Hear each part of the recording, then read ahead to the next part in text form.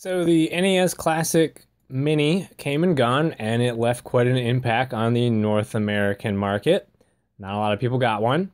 So China took notice and crossed that with the popularity of the Raspberry Pi and retro gamers. This NES Pi case has come about. So it's branded by Retroflag, and if you go on Alibaba, you can get one for around 20 bucks. Wait one to two weeks and have it delivered to your, your house or apartment.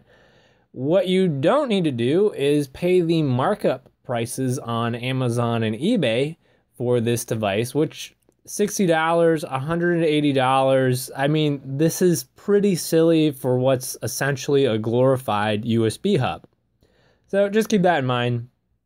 If you search, you'll find it for cheap on Alibaba. Looking at the box for the NES Pi, it's very clear this is intended for the USA market because remember, the Famicom was redesigned to the NES for the American market because we went through the video game crash just three years prior, and the redesign of the Famicom was to look more like a VCR and not look like a video game console. So the redesign for this is based off the tooling and molds for the NES Classic, but even going a step further, they made this really nice looking cardboard box. This isn't just like bubble wrap in a box, it's a engineered folded cardboard cut stamp that protects this thing on five out of six sides of the box it's contained in. It's protected. So in the box, you get an instruction manual, a screwdriver, and a bunch of screws. In this case is for the Raspberry Pi 1, B+, Raspberry Pi 2, and 3. It's nice because the way the Raspberry Pi sits, the Broadcom chip faces upward, and we'll talk about that in a little bit. So inside the screws, and you can just see this is a USB 2.0 hub with uh, Ethernet pass-through. The way you install the Pi is make sure you remove the SD card first, otherwise you'll never be able to get it in there. And the USB port connection is actually connects to the port closest, the top port closest to the Ethernet cable, and then you'll connect the power. Don't do the GPIO cable backwards, otherwise you may destroy your Pi. And then it just kind of wedges down into the case. So I didn't, I failed to look at the instructions first, but I eventually got it and the cables are just long enough to get this in there. They are they are no longer than they need to be, so just be patient.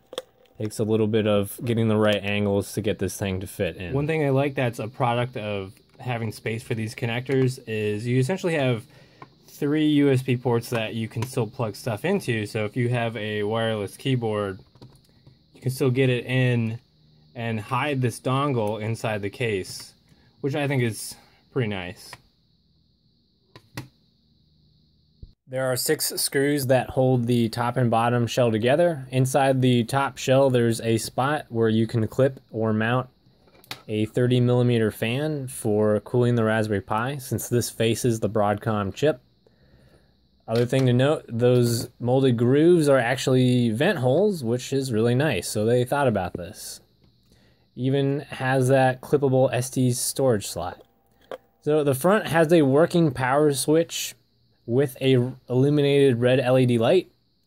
The reset switch also works, but these are not software switches. They're not triggering some kind of script that you can write or triggering off a GPIO. They're just interrupting the 5 volt rail. So if you reset or power off before doing a software shutdown, you're likely to corrupt the SD card if it was in the middle of a write instruction. Other than that, it's it's really a well thought out case if you can get it for the listed price off of Alibaba. So usually between eight and fifteen dollars is what I've been noticing. It houses your Raspberry Pi with room for ventilation and gives you a USB 2.0 port in the style of an NES case. So if you can get one, I recommend it. It's it fills the gap for the NES Classic Mini, especially if you thought it was limited and you got your hands on one, or you can't get a Super NES Mini.